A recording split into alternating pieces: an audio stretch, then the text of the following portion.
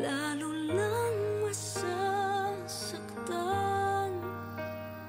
Lagi lang magdaramdam Kung hindi pagbibigyan Ang puso May pa Arthur, Arthur kapag nalalaman ha! Ano bang pakialam mo ha? Lumiliit na ang mundo ninyo ni Eman. Darating ang panahon, magkikita at magkakakilala din kayong dalawa. Ayoko siyang masaktan. Dian, gusto mo bang makita yung anak mo? Alam niyo po, wala na po akong ibang paraan para makita ang anak ko. Ako ang gagawa ng paraan para makita mo ang anak mo at kung gusto mo, makuha mo pa yung anak mo. Anong ginagawa niyo dito? Gusto ko lang sana kasing makita ang mga apo ko. Namimiss ko na kasi sila eh. Kasi nakaringgan ko kay Lawrence na parang may kailangan siya sa'yo. Ano kaya kung puntahan mo na lang? Aling Sedes, kasama niyo na ba ang anak ko? Nasa akin na si Munding. Parang si Sedes yun ah. Kasama si Munding. Pwede na po kayong umalis.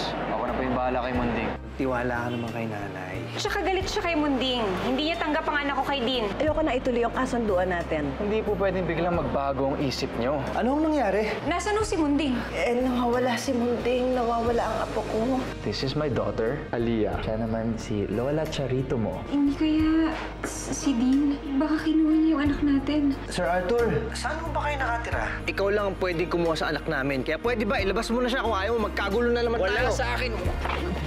Umalis na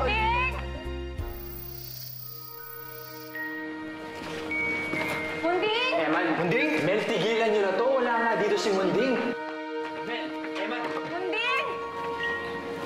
Munding! Munding! Anong ginagawa niyo? Hindi ako aalis dito hanggat hindi ko nakikita yung anak ko. Ano ba? Eman, ano ginagawa niyo dito?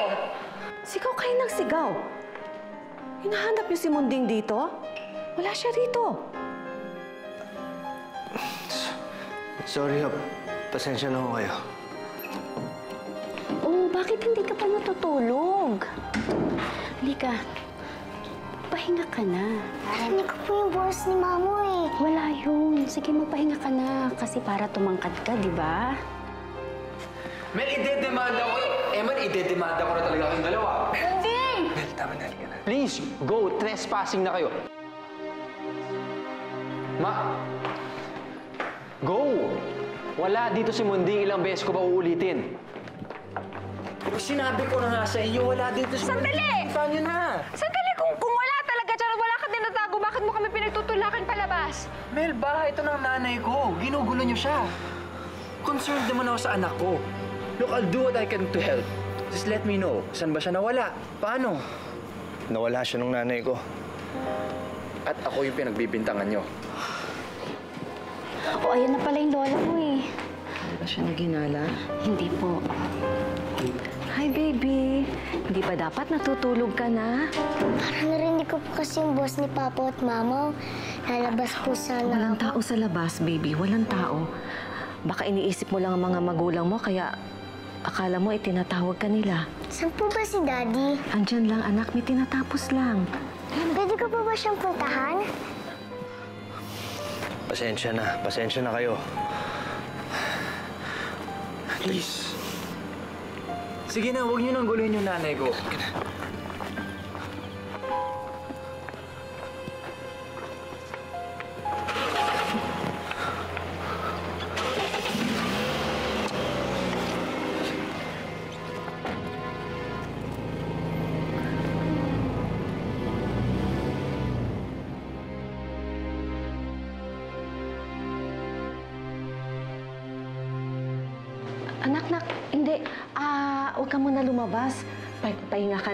Matulog ka na, ha? Ha? You, you have to sleep early, di ba? Kailangan maganda ang baby girl tomorrow, di ba? Daddy, may bisita po ba kayo? Si Mama at Papa po ba yon? Um, Narinig ko po kasi yung boss ni Mama eh. oo, dumaan nga dito yung mama at papa mo. Um, pero akala ko kasi tulog ka na. Kaya yun yung sinabi ko sa kanila. Hindi po ko nila sinilip.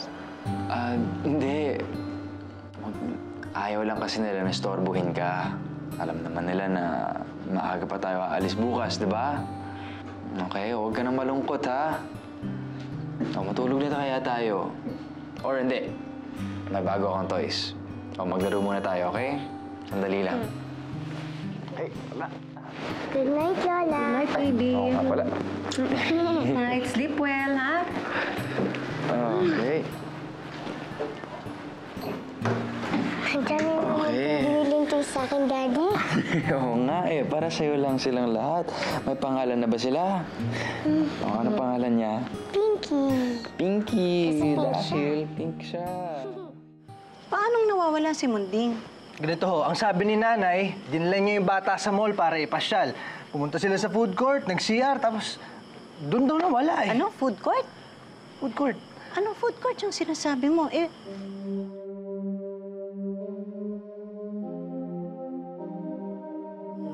Tama nga. Si Cedric at si Munding yung nakita ko kanina. Dumaan ako sa mall kasama si Lani, tapos nakita ko sila dun sa harap ng Japanese restaurant para may hinihintay. Teka, wala namang nasabi si Nanay Cedes na nagpunta sila ng Japanese restaurant, ah. Naku, may sigurado ko, pumasok sila dun sa loob ng Japanese restaurant. Walang sinabi si Cedes tungkol doon. Siguraduhin mo yan, ha? Eman, sorry, pero baka naman sinadya ng nanay mong mawala ang anak nyo. Sobra naman ho yata yun, ma.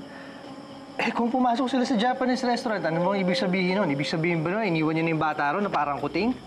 Eman, ang sinasabi ko lang, kung kaya hindi sinabi ni Cedes tungkol doon sa Japanese restaurant, kasi pupuntahan nyo sigurado yung Japanese restaurant, magtatanong-tanong kayo. Malalaman nyo kung iniwan ba yung bata o may ibang taong kumuha. Samantalang doon sa CR, eh, labas-masok ang tao doon eh. Wala kayong pwedeng pagtanungan kung ano talaga nangyari doon sa anak nyo.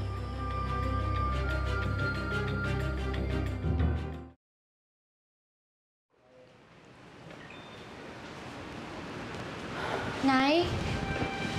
Nay, kanina po kayo tahimik dyan. Halika na po, pasok na po tayo. Oo nga, Aling Cedes. Wala kang sa karakter niyo yung ganyan. Tahimik. Eh, muntik na nga kayong sapakin ni Melanie kanina, ni hindi man lang kayo gumanti.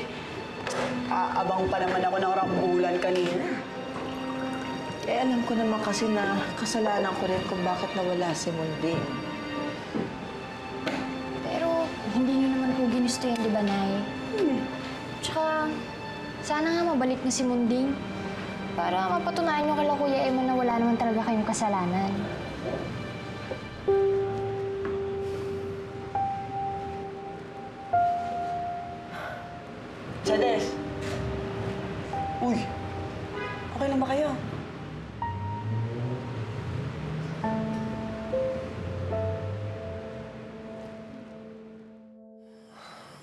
Mel. Mel, sandali. Saan ka ba pupunta? Pupuntahan ko yung nanay mo. May kinalaman niya sa pagkawala ni Munding, eh. Sandali lang. Naniniwala ko sa mama mo? Eh, lahat naman yung puro haka-haka. Man, galit yung mama mo sa nanay ko. Kaya ganun. Hindi lang yun. Nararamdaman ko na may ginagawang hindi maganda yung nanay mo. Ganyan din yung sinabi mo kay Dean, di ba? O, eh, paano kung tama ako ngayon? O, di ba gusto niya magkawatak-watak tayo? Gusto niya sirain yung pamilya natin? Gusto niya magkahiwalay tayo? Siya nga nagsabi kay Di na anak niya si Munding, eh. Ano? Oh, hindi ko sinabi sa'yo kasi okay na tayo noon. Tsaka sabi mo, nagpapakabait na yung nanay mo. Sa totoo lang, lalo ko nag-aalala sa pagiging mabait niyan eh. Mel, Ano? Nay, bakit niyo naman ginawa yun? Bakit niyo binigay si Munding dun, dun, dun sa tatay niya? Nay naman, magagalit si kuya niyan eh. Alam ko. Eh kaya nga gusto ko sanang bawiin na nga si Munding doon sa din na yun. Kaya lang binantaan pa ako. Carla, kaya ako sinasabi ito, ha? Kaya ako sinasabi sa ito dahil alam ko na ikaw marunong kang magtago ng sekreto. Diyos ko, ewan ko ba naman sa inyo, Nay? Pera kapalit ng apo niyo. Hindi lang pera yun eh. Nagalit ako kay Melanie kanina. Eh, eh yun, kasi pinamukhaan ako eh. So kaya gumanti kayo. Eh parang tanga tuloy sa paghahanap si na Kuya Eman. Ngayon naman, sana kay Kuya Eman sinabi niyo. Ano ako, Hilo? Isasabihin ko sa kuya mo para ipahama ko ang sarili ko? Hindi ko kayang maintindihan, Nay. Bakit pa gusto niyo sirain yung pamilya ni Kuya Eman? At kahit galit kayo kay Ate Mel, Nay, dapat naman hindi nyo dinama yung bata.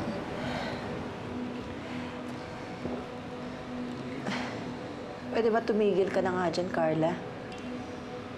Alam kong maling sabihin ko to, Nay, pero... Pero sana nga. Eh. Sana nga hindi makuha ni Kuya Eman si Mundin.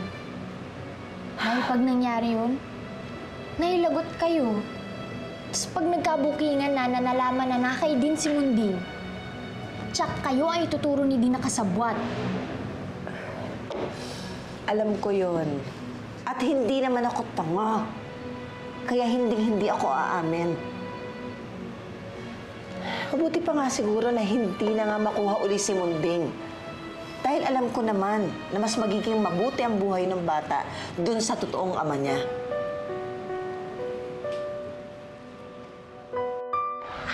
Pinasok mo, Iho? We're like criminals.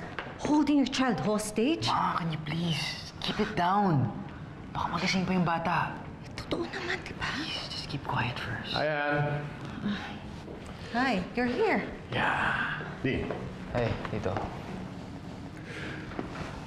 Ah, nagpunta na pa dito si Eman kasi tinanong niya ako sa address ko eh.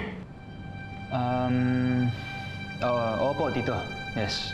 Actually, um, pumayag na nga siya na matulog dito yung anak niya. eh. Wow. Yeah, um, actually nag-usap-usap na nga kami ng maayos eh. We agreed that from time to time, pwede ko siya samahan. Really? That's great, di ba? Sabi ko naman sa'yo, okay si Eman eh. Sandali ah. Nay! Nay! Saan niyo dinala ang anak ko? Nasa si Munding? Mel, eh, wala akong masamang intensyon. Kahit naman hindi ko kadugo si Munding, hindi ko siya tunay na apo. Pero ako nagpalaki sa anak mo. Mahal ko yung apo ko. Hindi ko naman papayagan na may mangyari sa kanya. Oh, eh kayo nga nagsabi kay Di na anak niya si Munding, di ba? O ngayon, paano ako maniniwala sa inyo na wala kayong ginagawang masama? Eman, pagsabihan mo naman yung asawa mo. Ang sakit naman magsalita. Sobra naman mag-isip yan. Ay, masisisi niyo ho ba siya? Ay, kayo nga pala itong nagsabi kay dinaanak niyo si Munding. Kayo ho ang nagdadala ng gulo sa pamilya namin.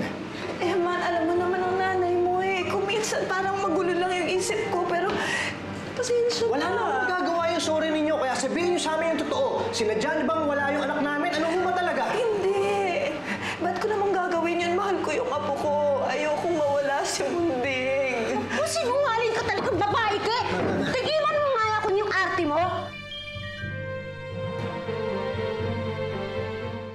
Sabihin na natin kay Tito Arnaldo mo.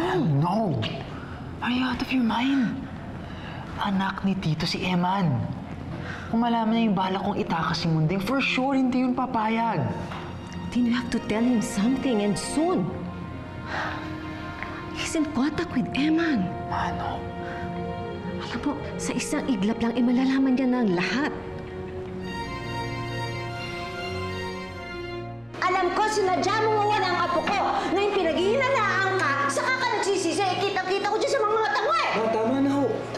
Hindi pa ho natin alam kung anong totoo. Naniniwala ho ako na mahal ni nanay si Munding. Nung nawala si Munding, siya ho naghanap sa kanya. Nagigilty nga ako siya dahil sinisisi niya yung sarili niya sa pagkawala ni Munding. Pero hanggat hindi natin alam ang totoo, wag muna natin siyang akusahan. Raymond, kausapin mo nga yung nanay mo. Kausapin mo ng mabuti para malaman mo yung totoo. Eh baka kaya umiiyak yan kasi nagigilty. Dahil kung wala talaga siyang kasalanan, siguradong lalaban niyang nanay mo. Naman, sige na, kausapin mo ng mabuti. Tanong mo kung saan niya iniwan si Munding o saan niya pinamigay si Munding. Para naman maabutan pa natin. Sige, sige na ako ng bahala.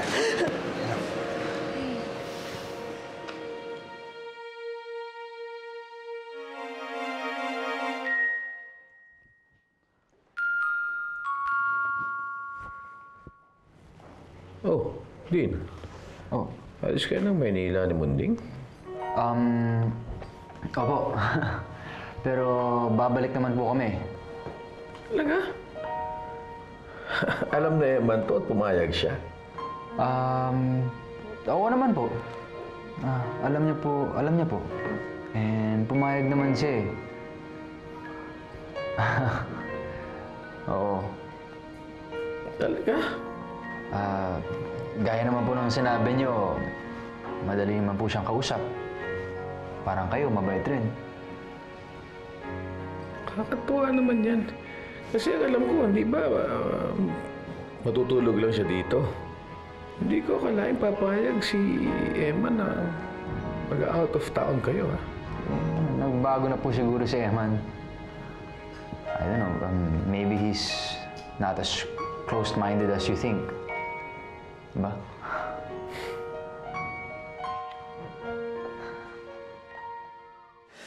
Nay. Nay, pwede bang ulitin niyo sa akin kung ano ang nangyari? Paano ho nawala yung anak ko?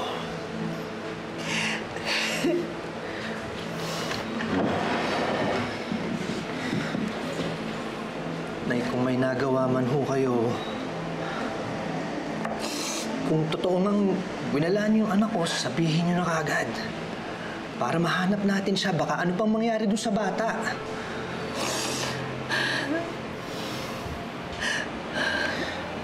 Nay. Nay, pinapangako ko sa inyo. Pipigilan ko yung galit ko kung totoo mang winalaan niyo yung anak ko. Pero kailangan sabihin niyo sa akin kagad para mahanap natin siya. Baka madampot pa siya ng kung sino. Ano ba, kuya? Bakit ba ayaw maniwala kay nanay? Wala siyang alam. Tsaka dapat na tinatanong nyo, yung mga guard dun sa mall. O sige.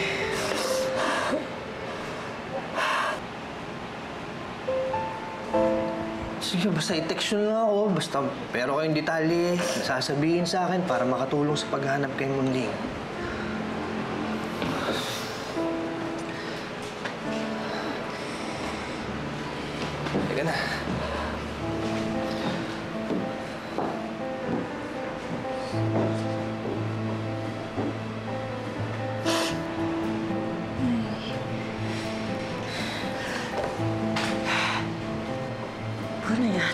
Kaya, Carla? Pero, Nay, kapag nagsabi kayo ng totoo, at saka hindi kayo titigilan ng company na Ate Mel. Nay, baka ipakulong pa nila kayo. Kaya wag ho kayo magsasabi ng totoo, ha?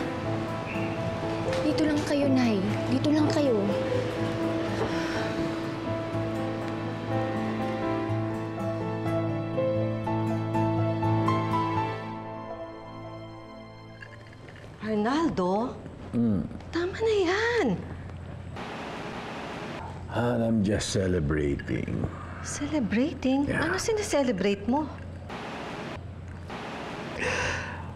I'm just happy na itong si Eman eh,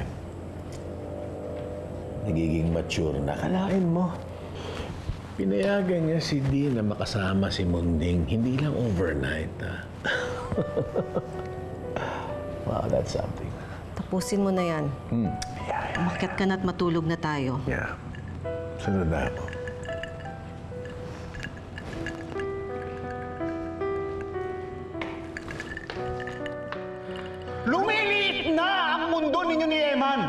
Darating ang panahon, magkikita at magkakakilala din kayong dalawa. Ayoko siyang masaktan. Kaya tigilan mo na si Eman kung ayaw mo mag-invoke ng pasakit sa buhay niya!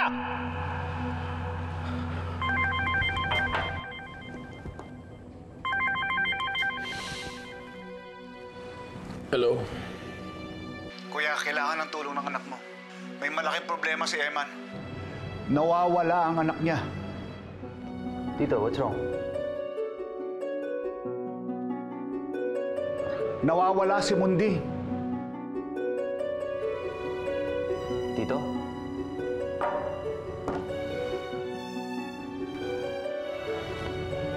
Asan si Munding? Asaan si Mundeng? Dean, that's kidnapping! Tito, anak ko ho yun. And I'm sure kung kayo yung nasa lugar ko, gagawin nyo rin yun. So stupid, Dean. Nasaan si Mundeng? Tito! Tito! Saan ba talaga? Arnaldo! Ah, asan ang bata? Arnaldo! Arnaldo, please! Nakikiusap ako sa'yo. Please, Arnaldo, please! Tito, please, stop it. Arnaldo! Tito, tama Arnaldo! na. Saan niyo tinago ang bata? Arnaldo, calm down! Tito, just calm down, understand Arnaldo, kung ako down! ngayon. Bakit Arnaldo! nakalak to? Bakit Wala- nakalak? wala- Tulog na siya. wala- Walang susi Tito, dyan, tulog na siya. Arnaldo, Tama please! na. Arnaldo! Arnaldo! Mali ito! Usap ako sa'yo! Arnaldo! intindihin mo naman yung posisyon ko. Arnaldo, please! Anak, iuwi na kita Arnaldo, tunay please! Tito, pamilya. Please! Tito, tito, anak ko rin siya. And I'm sure gagawin niya yung ginagawa ko ngayon. Arnaldo! Din, mali ang ginagawa mo eh. I'm sorry. Look, Tito! Arnaldo! Din! Din! Ano pa kasi itong pinasok mo, anak? Arna... Arnaldo! Arnaldo! Arnaldo! Oh,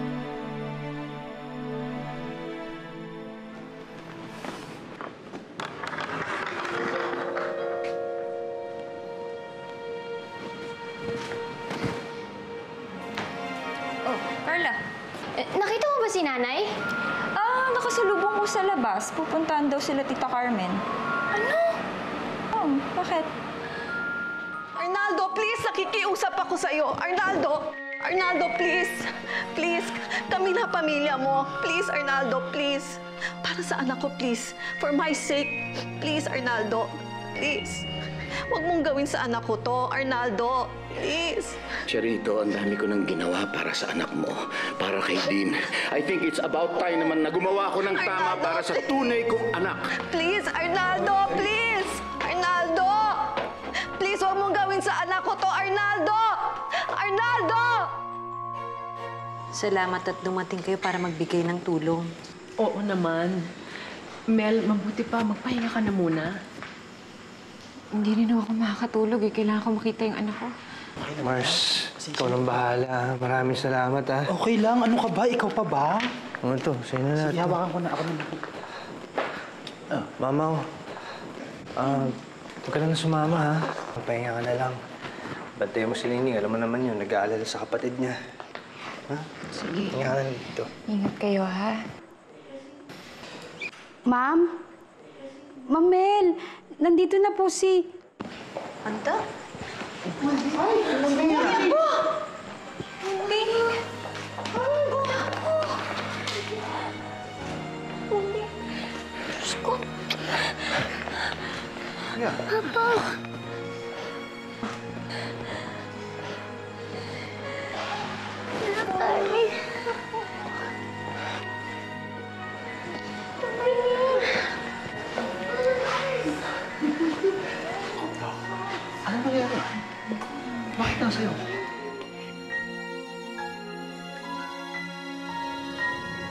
Dito lang po, Manong. Ito po yung bayad ng...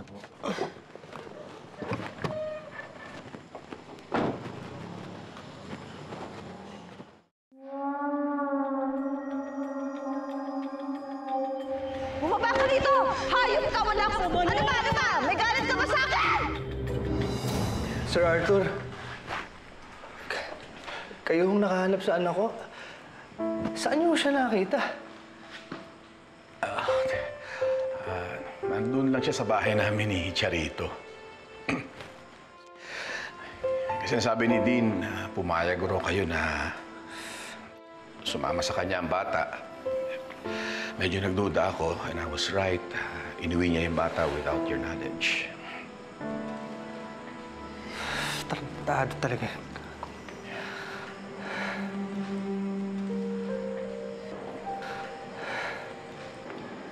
Salamat, Todd. Inuwi niyo dito yung anak ko. Sir Arthur, maraming salamat to. Tatanawin kong malaking utang na loob yun.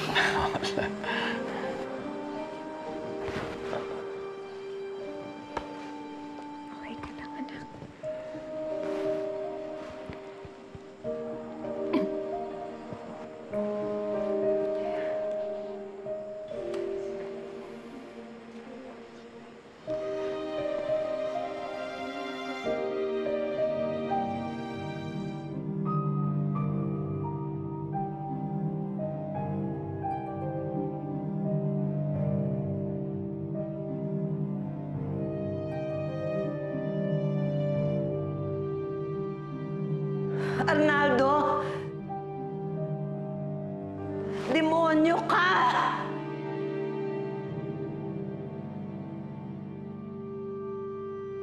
Hayop kang rapist ka!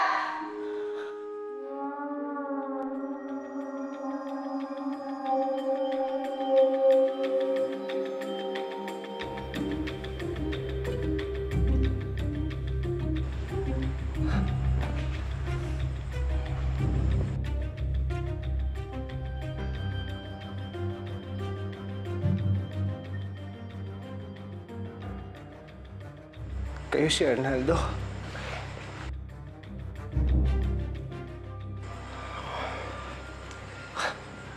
Oo, oh, Eman. Kayo ang tatay ko.